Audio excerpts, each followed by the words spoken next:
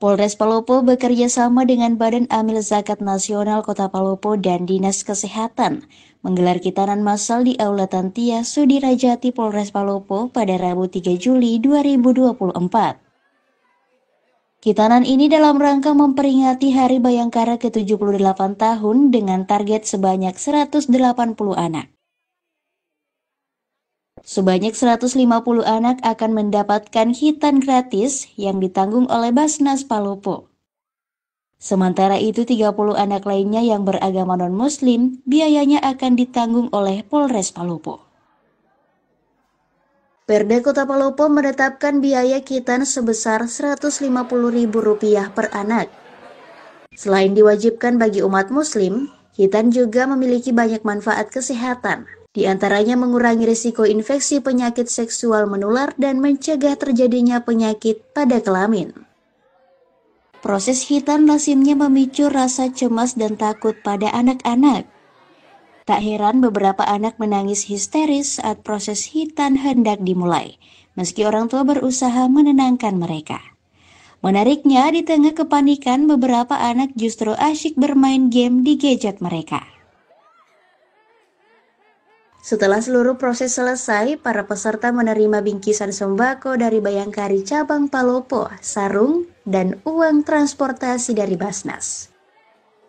Kapolres Palopo AKBP Syafi'i Nafsikin mengapresiasi jajaran Basnas Kota Palopo atas kolaborasinya dalam menyukseskan hitanan massal ini tentu dengan dukungan Dinas Kesehatan.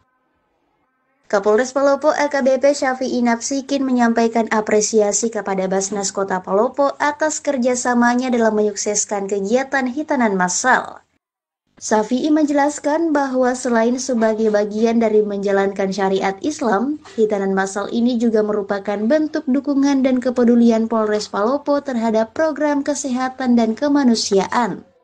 Tujuannya adalah untuk mencetak generasi muda yang kuat dan tangguh.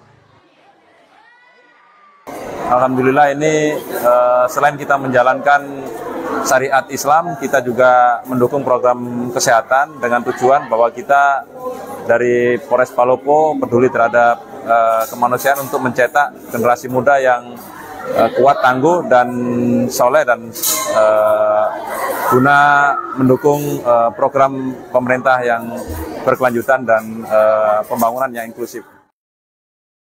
Wakil Ketua 1 Basnas Kota Palopo, Sumarsono, mengharapkan terjalinnya kolaborasi berkelanjutan.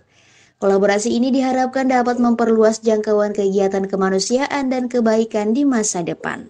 Tujuannya adalah meningkatkan taraf hidup masyarakat. Harapan kami dari Basnas Kota Palopo ini semoga kolaborasi ini terus, terus tetap berjalan sehingga ke depan bisa melakukan kegiatan-kegiatan kemanusiaan, kebaikan yang lebih baik dan bisa meningkatkan taraf hidup masyarakat. Salah satu orang tua anak yang hitan mengucapkan terima kasih kepada pihak yang menggelar hitanan masal hari ini karena dapat membantu masyarakat kurang mampu memenuhi kewajiban sebagai laki-laki muslim. Bagus karena maksudnya membantu tuh orang yang tidak mampu bisa sunat, maksudnya orang yang tidak ada nunya begitu. Nada Gabrilia mengabarkan dari kota Palopo, Provinsi Sulawesi Selatan.